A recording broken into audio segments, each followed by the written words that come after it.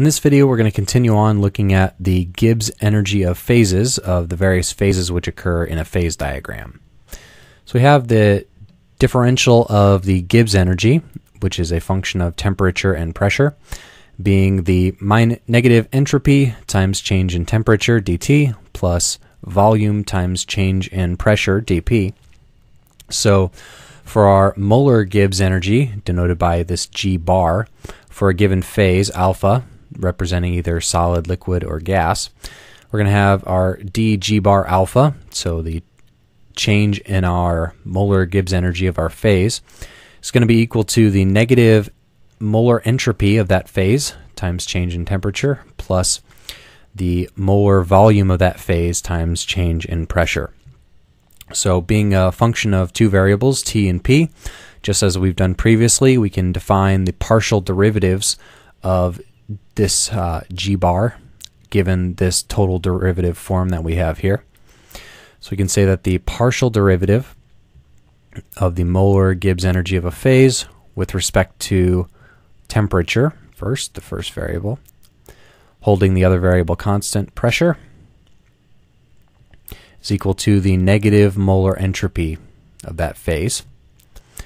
And for the pressure dependence, partial derivative of the molar Gibbs energy of the phase with respect to pressure at constant temperature now is equal to the molar volume of that phase.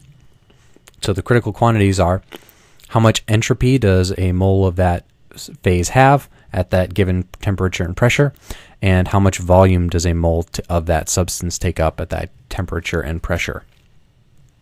So we can make a few generalizations which are going to help us out.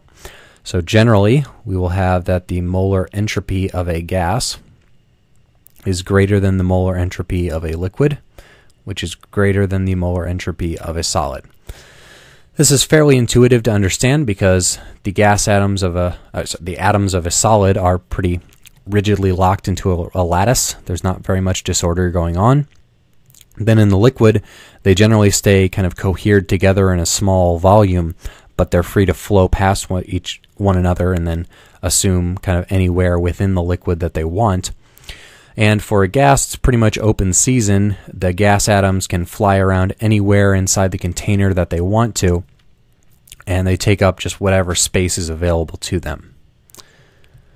And then similarly for molar volume, the molar volume of a gas is generally much, much larger than the molar volume for a liquid, which is on average larger than the molar volume for a solid.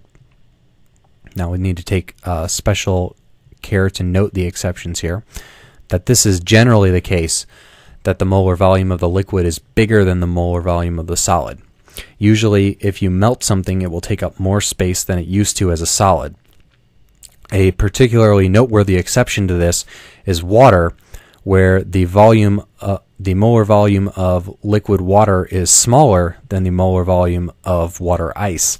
So if you freeze water, its volume will increase, not decrease, and this leads to some particularly wacky behavior of water relative to most normal substances and a few other substances like that, you'll see uh, we'll see some very specific behavior in the phase diagram due to the fact that uh, the volume of ice is bigger than the volume of water for the same number of particles.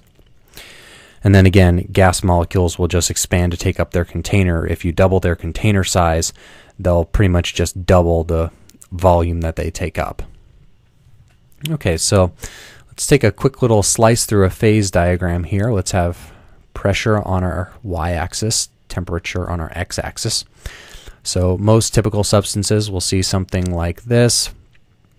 We'll have curve there, going up to there, to critical point, triple point. We'll have solid, liquid, and gas. Let me do that L better. Solid, liquid, and gas, denoted by those three colors, by the green, uh, blue, and purple. So we're going to take a slice through this diagram here, starting at, say, low temperature, going up to higher temperature, going through the liquid, and then to eventually gas. And then at low pressure, starting at gas, going eventually to liquid, then eventually to solid at higher pressure. Again, for water, this will be an exception because this line is actually sloped backwards because of this reversal there. But for most substances, it looks something fairly analogous to this. So over here, what we're going to plot is we're going to plot our molar Gibbs energy of our phases, solid, liquid, and gas, as a function of temperature and as a function of pressure going along these two specific lines here. Okay, so starting green for the solid. So as a function of temperature, uh, the slope of the solid's Gibbs energy with respect to temperature is going to be fairly small because it has a smaller molar entropy. So it's going to start uh, much, it's going to start higher here. Let's see, low temperature. Okay, yep. Going to start higher there. We're going to slope slowly down. The slope is going to be negative because entropy is always positive, so negative entropy is always negative. The liquid is has a higher entropy, so it's going to have a higher slope.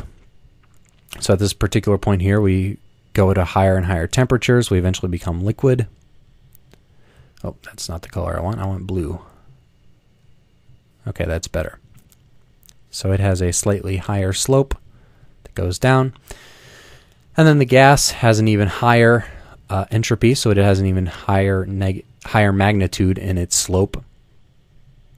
So it's going to go down even faster. So what this shows us is the the phase which is the equilibrium phase is the one which has the lowest Gibbs energy at a given temperature. So we start out in the solid at low temperatures because the solid had the lowest Gibbs energy. Then it meets the liquid where it's equal at the solid liquid coexistence curve. And from there, the liquid had the lowest Gibbs energy as the temperature increased, as we're going along this horizontal line here. Then it hit the liquid gas coexistence curve, and then at higher temperatures, the gas phase had the lowest Gibbs energy. And so this is how we get our different uh, points along our phase diagram here. And at this point where these two, where the green and blue meet up is where we have our melting point, Tm, where the solid melts into a liquid, and where the liquid and gas have their equilibrium, where they have equal Gibbs energy.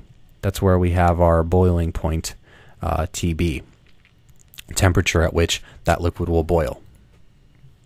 Okay, now let's do this as a function of pressure. At low pressure, we are a gas and the gas has a very large molar volume, so it's going to be a positive slope, which goes up as a function of pressure. So it's going to start low.